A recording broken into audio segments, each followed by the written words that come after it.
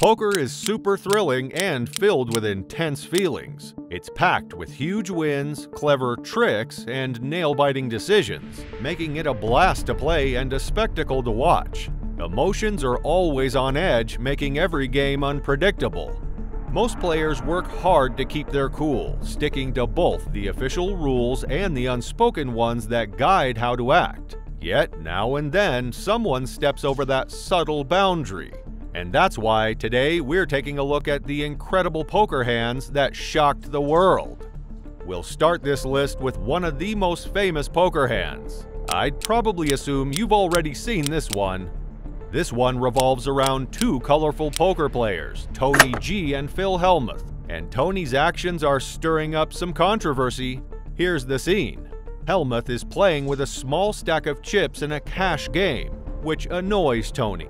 Tony sees this as a chance to grab Phil's chips and push him to either buy more chips or leave the game.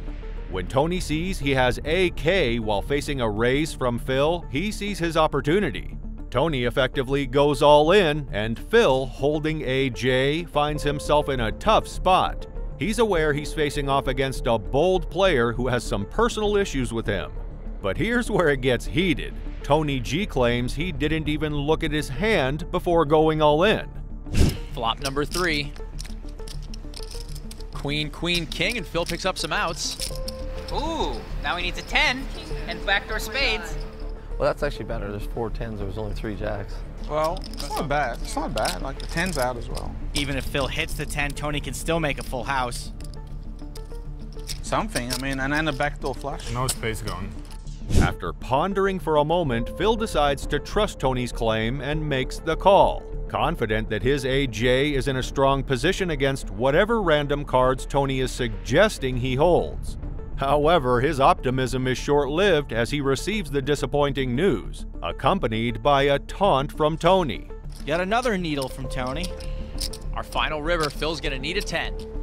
It's a jack. Whoa, you got there! That's not cool. No, he didn't. No, sorry. I was just joking, Phil. Did you believe me again? Was no, that bad I didn't etiquette believe too? you. So Tony, so look, you're loaning me 50,000, right? Yeah. Okay, look, I, I don't accept it. Okay, no problem. But good game, man. All right, I'm sorry, Phil. I really am. I'm sorry. I think you should retire. I think it's over. I think you, you're not there anymore, Phil. Hellmuth appears stunned that Tony would deceive him about his hand, but Tony remains unapologetic. Of course I lied, he retorts. It's poker, Phil. Oh, you lied. Of course I lied. It's poker, Phil. While it's certainly not a gentlemanly move and not something you'd want to encounter at your local card game, it serves as a reminder to never blindly trust the words of your opponents in poker. Moving on, this next one is among the most controversial poker hands from the 2009 main event involving Estelle Denise and a beautiful pair of pocket aces. With a relatively small stack of chips, Estelle was likely overjoyed to see she had two aces after JC Tran raised the bet to 32,000.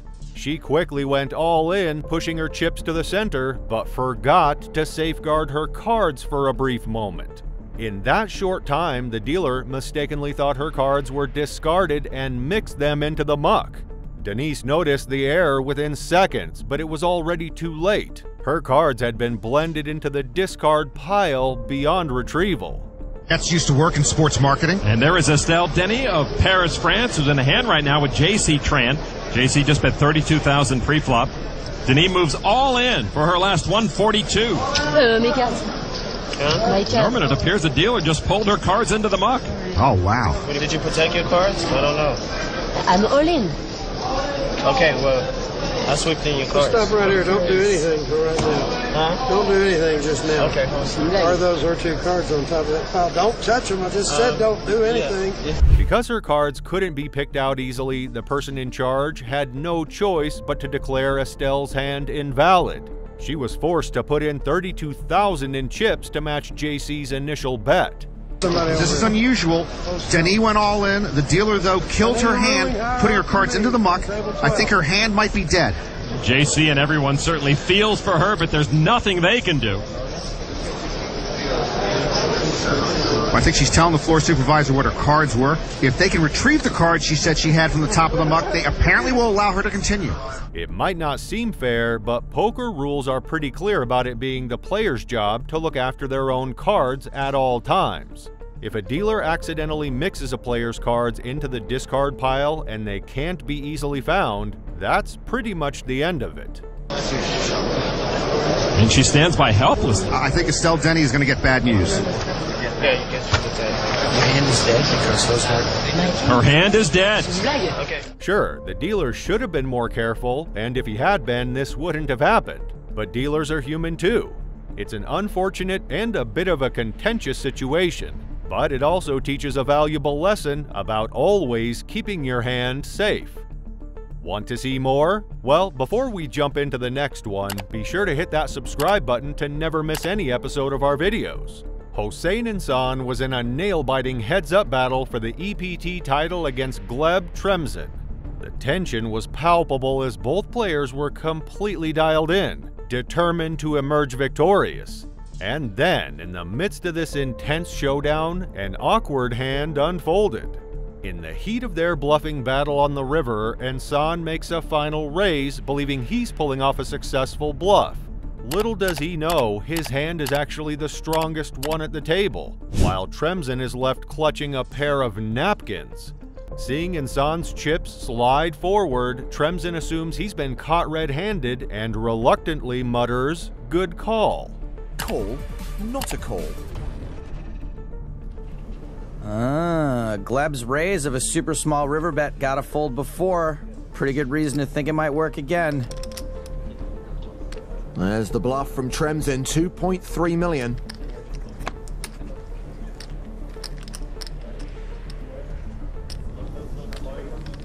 It doesn't look like it's gonna work. Ensan re-raises. Good call. You call? Yeah. You win. I've just five. The confusion mounts as Ensan, conceding defeat, reveals his humble pair of fives, assuming Tremzin must have a superior hand. But then, to everyone's surprise, Tremzin proudly reveals his worthless napkins, echoing, yes, good call. Yeah, good call. Uh, I think there's some confusion here. I think Gleb thought Ensan was calling. Uh-oh. Yeah, I win. Yeah. Yes, I win. 4,6. Four six. I said good call. You raised Call, you call. No, no, I said good call. The floor is called over to clear the air. Amid the confusion, Tremzin's words are misinterpreted by Ensan, who believes he needs to match the raise. However, Tremzin vehemently insists that he couldn't possibly have intended to call with such a weak hand. As the floor staff grapples with how to untangle the situation, Ensan intervenes, putting an end to the debate. He decides he doesn't want to pursue any further action and refuses to accept additional chips. It becomes evident that Tremzin had no intention of making a legitimate call, and he has no interest in exploiting the misunderstanding for his own gain. As the events unfold, it's worth noting that Ensan's integrity shines through. Despite his unorthodox playing style, he proves himself to be anything but an angle shooter. Whether or not you believe in karma, it's worth mentioning that Ensan not only won that event, but went on to claim victory in the 2019 main event, walking away with a staggering $10 million prize. Super! Yeah. It's okay, Mom. Yet another amazing display of sportsmanship. Be careful. Yeah, yeah. Yeah, sorry, yeah, okay. sorry for that. It's my It's okay. mistake, but But uh, next time, uh, please Yeah. don't bluff. yeah. It's, okay. not, it's not good. But you bluff also. I I have five. It's don't flop. you have nothing. Good call is probably the last compliment Gleb Tremzin. Poker rules leave no room for ambiguity when it comes to verbal declarations. Once you announce a call or a raise, it's binding. There's no going back on it, unlike what you might see in movies where poker scenes lack expert advice. Ivan Freitas appears to have a keen understanding of this rule, and he attempts to exploit it in what has become one of the most contentious poker hands in recent memory. In a high-stakes moment on the river, Freitas finds himself with a powerhouse hand, practically holding the nuts. He verbally announces a raise after Eugene's river bet, but instead of adding the required chips, he only tosses in the amount needed to call. Then, in an attempt to backtrack, he claims he only meant to call. Okay, raise. Raise coming. I'm sorry, call. What? Oh, oh. I call. You said race. You announced race.